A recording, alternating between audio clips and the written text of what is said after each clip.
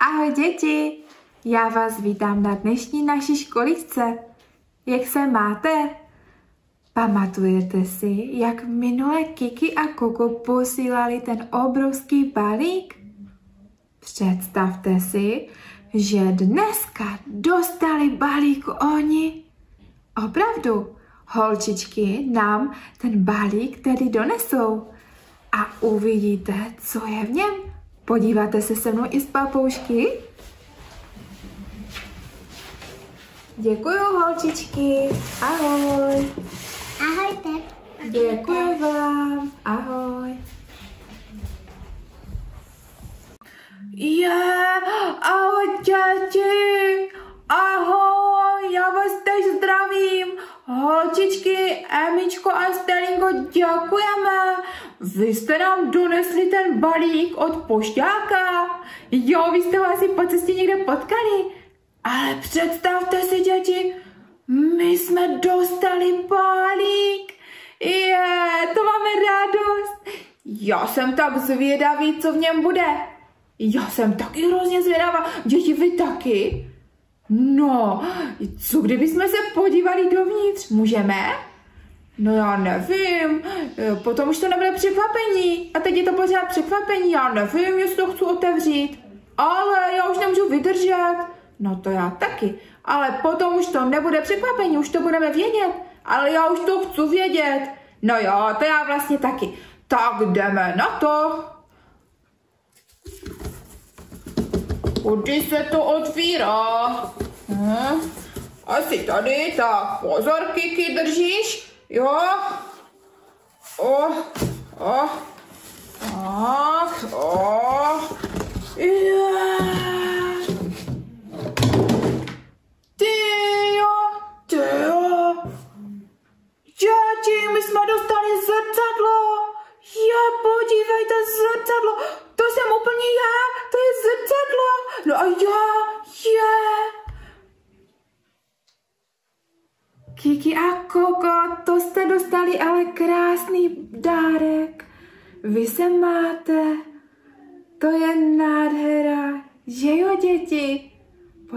My vám to ukážeme. Tak, počkej, já ti pomůžu. A já nemusíš, já to zvládnu. A, no dobře, dobře. Tak jo, jo, ty jsi silný. Tak, tak, děti, dívejte se na to, co říkáte, to je nádherné. Jo, jo, jo, dívej. Koko, ale to není zrcadlo. Ukaž fakt. To je přece obraz. Je, děti, my jsme dostali obraz. Namalovaný obraz.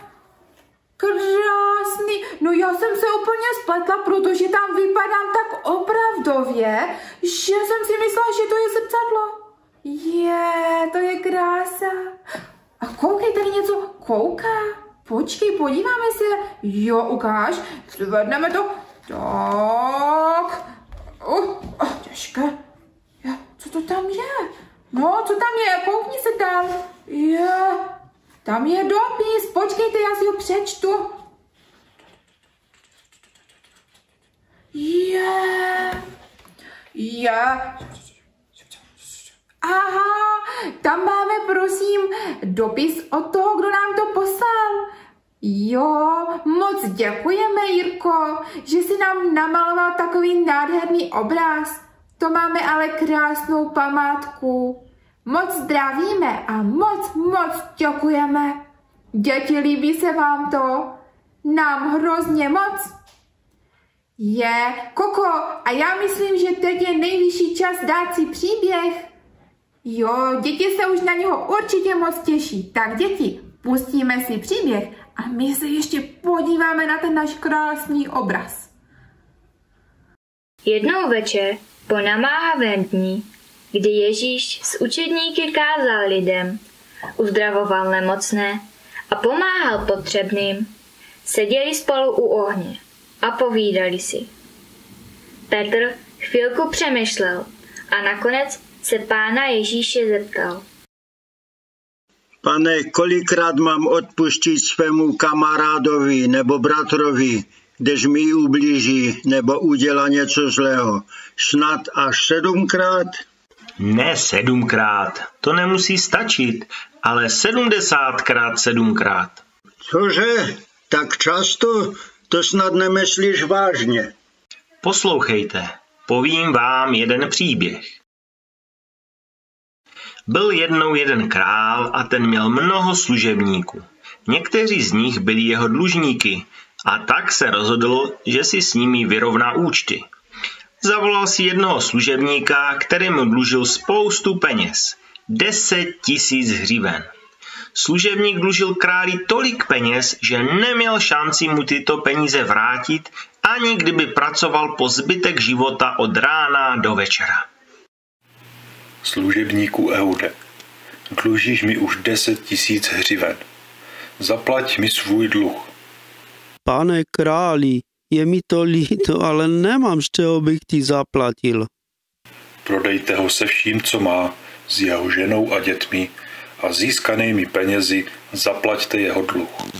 Pane králi, měj se mnou trpělivost, všechno ti zaplatím, jen mi dej ještě trochu času.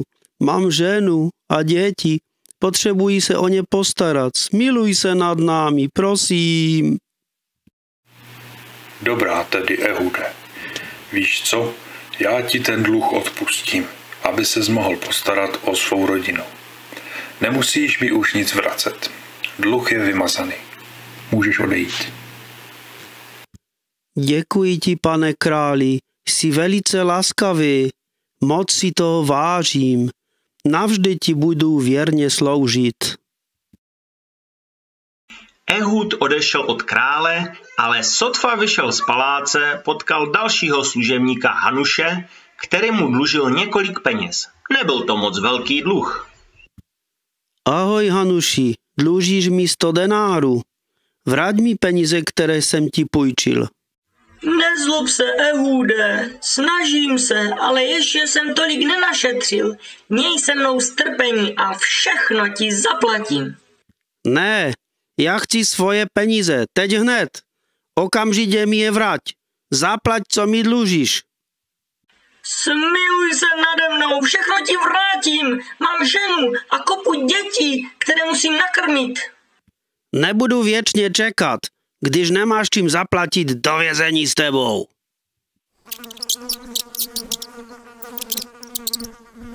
Tak a teď budeš sedět ve vězení tak dlouho, dokud mi nezaplatíš do poslední mince. Ne, prosím, ne. Kdo se teď postará o moji rodinu? Kdo jim nakoupí jídlo? Prosím, pust mě. Opravdu ti všechno vrátím. Vrať mi moje peníze a pustím tě. Ehude, jak můžu pracovat, abych vydělal peníze, když jsem zavřený? To mě nezajímá. To je tvůj problém.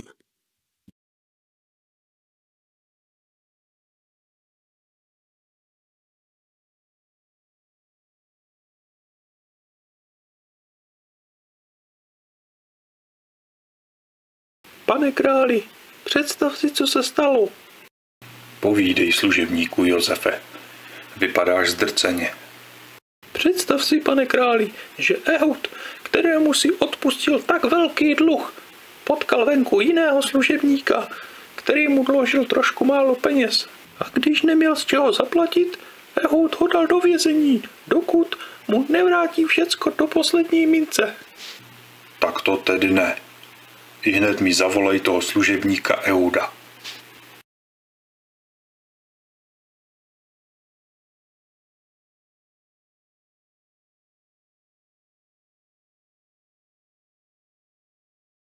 Ehude, ty zlý služebníku, co jsi to udělal? Odpustil jsem ti celý tvůj dluh, protože jsi mě o to prosil. Neměl ses taky ty smilovat nad svým spoluslužebníkem Hanušem, tak jako já jsem se smiloval nad tebou a odpustit mu jeho dluh. Ale pane králi, on mi nechtěl zaplatit. Zachoval ses velmi špatně a naložím s tebou stejně, jako jsi ty naložil se svým kolegou Hanušem. Půjdeš do vězení. a budeš tam trpět, dokud nezaplatíš celý svůj dluh. Okamžitě ho odveďte. Totéž udělá Bůh, můj nebeský Otec vám, pokud každý ze srdce neodpustíte svému bližnímu.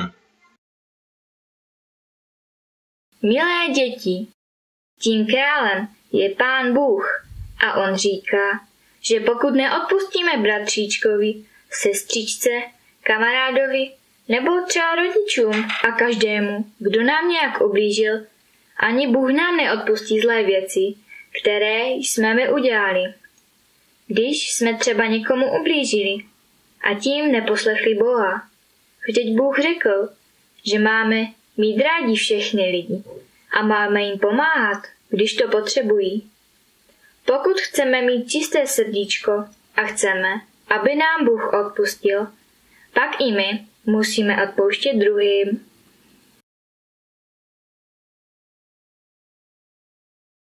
Děti, to je tak super, že nám Pán Ježíš odpouští naše provinění. Ale nesmíme zapomenout na to, že odpouštět ostatním máme i my. Ano, to je pravda. My musíme odpouštět. Není to jednoduché, vůbec to není jednoduché, ale Pán Ježíš, když ho o to poprosíme, on nám k tomu dá sílu a pomůže nám to. Děti, a teď si myslím, že bychom mohli jít něco zaspívat. Co myslíte? Já se už na to moc těším. A představte si, dneska máme novou zpěvačku. Moc zdravíme Rebečku, to je naše nová kamarádka. My jsme tak moc rádi, že jsi se k nám přidala. Moc tě zdravíme, ano, zdravíme a taky celou tvoji rodinku. Tak si jdeme společně zaspívat. thank you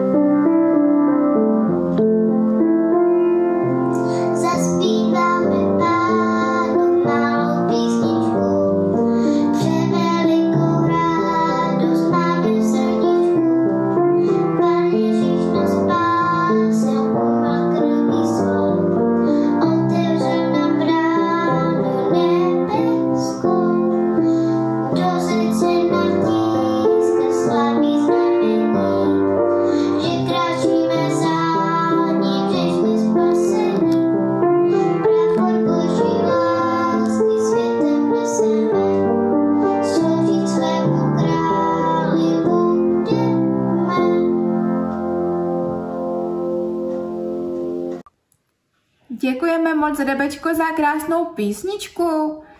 Děti, a si taky s námi zpívali? My jsme si moc rádi zaspívali. No a Koko, viděl jsi, jaké má krásné dlouhé vlasy, Rebečka? Jo, viděl, jak nějaká princezna, že jo? No, já bych taky chtěla mít takové dlouhé. Jo. No, Kiki, ale ty máš taky pěkné. Jo, já vím. A kdybych měla si takové moc, moc dlouhé, no to nejde. Papušci takové nemývají, že ne, děti? To by se ti zamotalo do křídele, kdyby si letěla. Aha, to je pravda. No jo, děti, pojďme si společně něco vyrobit. Se Stelinkou dneska a Tobíčkem. Ahojte děti, já jsem Stella. Dneska si vyrobíme rouliskou. Nekoukejte, jak jsou krásný.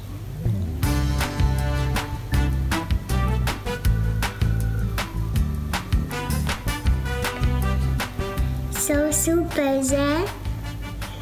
Budeme potřebovat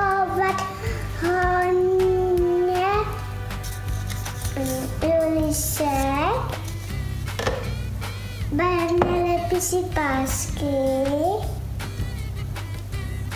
mousquet, la piscine aussi, la pilote à fixer. Monsieur le à verbe Monsieur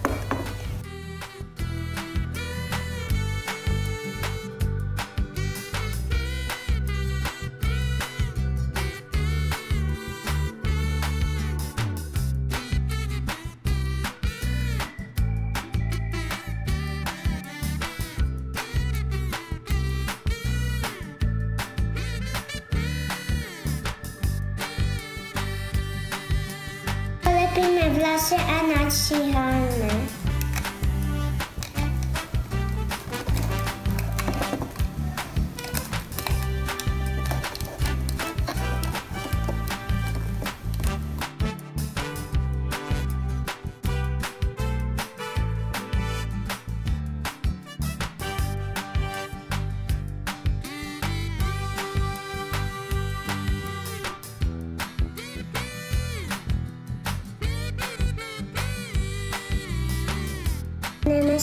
si vlasy, jak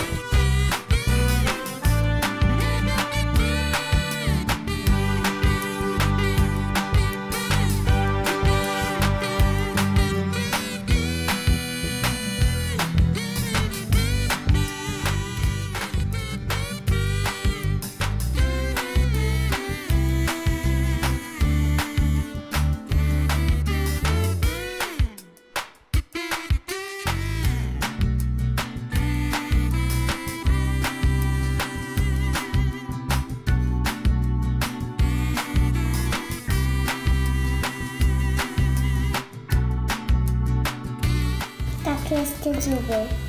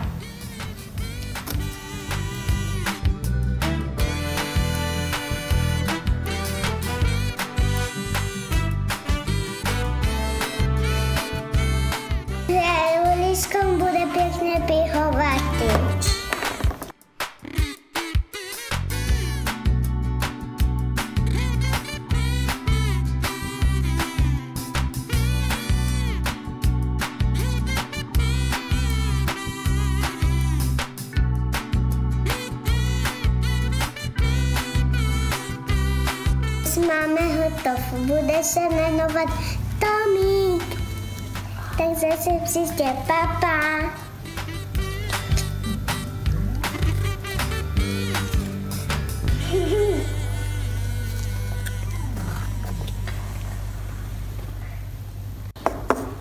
Ahoj, starý, ty máš ale velké zuby. Podívej se na vlasy.